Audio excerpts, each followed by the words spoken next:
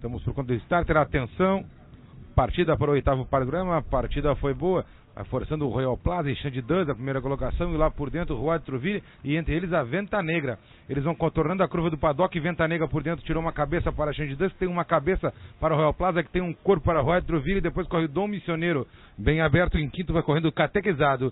Vão contornando a curva do paddock, Venta Negra tem uma cabeça de vantagem para Xande Duz, que tem uma cabeça de vantagem para o Royal Plaza, que tem um corpo meio de vantagem para o Royal Truville, que tem uma cabeça para o Missioneiro, que tem um corpo para Catequizado, que tem um corpo para Font Life, que tem meio corpo de vantagem para Ironside.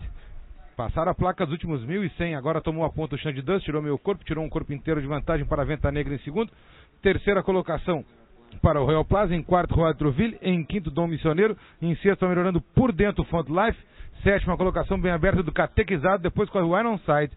São 900 para o disco e vai abrindo na primeira colocação o Xande Dust. Tirou dois, tirou três, tirou quatro corpos de vantagem. Vai forçando a segunda colocação o Royal Plaza sobre a Venta Negra. Royal Truville hoje correndo muito perto, vai até sobrando ali para quinto. Vai forçando a quarta o Dom Missioneiro. Vem aberto também tenta melhorar o catequizado. Apenas 600 para o disco e o 3 de Xande Dust. Tem vários corpos de vantagem para Dom Missioneiro que vai forçando a segunda colocação. Contorna a curva, entram pela reta final. O Douglas Paz procura para dentro e o ponteiro é o Xande Dust número 3 com Dom Missioneiro passando francamente para a segunda. O terceiro colocado é o Royal Plaza. Tenta voltar da retaguarda o Royal Truville. 300 para o disco e o Dom Missioneiro botou do lado e tirou vantagem para o Xande Dust, que corre em segundo e vai ser atacado pelo número 1 um de Royal Truville. Na ponta, Dom Missioneiro tenta resistir em segundo o Xande Dust, com o Royal Truville em terceiro e em quarto vai correndo o Royal Plaza. Na ponta, Dom Missioneiro. Segunda colocação para o Xande Dust, que tenta uma estocada final, cruzam a faixa final.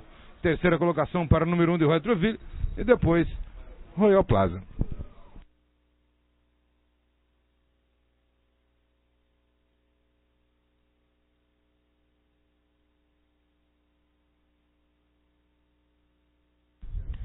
Vitória para Dom Missioneiro, número 4, meio corpo de vantagem para o Xande Dans, número 3, que ponteou a carreira durante boa parte do percurso, mas abriu demais na reta.